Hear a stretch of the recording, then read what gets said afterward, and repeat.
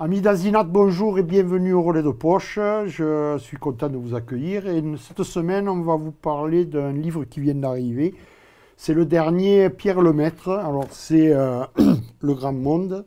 Voilà. Donc, Pierre Lemaître vient de, sortir ce premier livre d'une série de trois, comme il avait fait euh, euh, sur, sur la précédente saga où il y avait trois livres, où ça parlait de, la guerre. Là, on est dans les 30 glorieuses.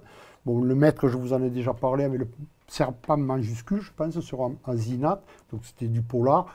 Et là, c'est du roman, c'est du roman, c'est de la saga familiale, mais c'est aussi du polar, parce qu'à l'intérieur de, son livre, eh ben, on a, euh, en fonction de, cette famille-là que l'on découvre, qui part de, euh, qui part du Liban, euh, on se retrouve à Saigon, on se retrouve à Paris, et euh, il y a des petites histoires qui s'installent, que ce soit au Liban, à Saigon ou à Paris, avec des enquêtes que, mène, que mène l'auteur et qui, qui révèlent les personnages des, différentes personnes de cette famille jusqu'à jusqu'à un dénouement qui n'en est pas, puisque c'est juste l'amorce du prochain livre qui, je pense, paraîtra l'année prochaine.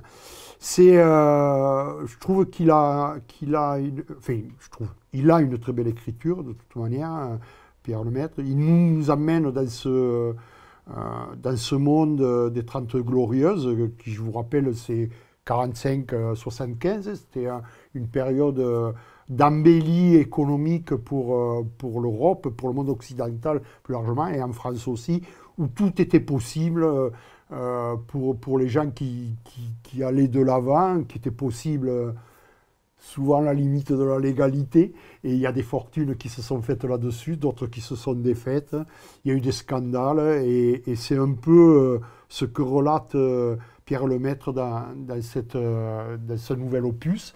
C'est euh, un livre, moi je l'ai, reçu, euh, je l'ai reçu euh, avant-hier, je l'ai lu en, l'espace de deux nuits. Voilà.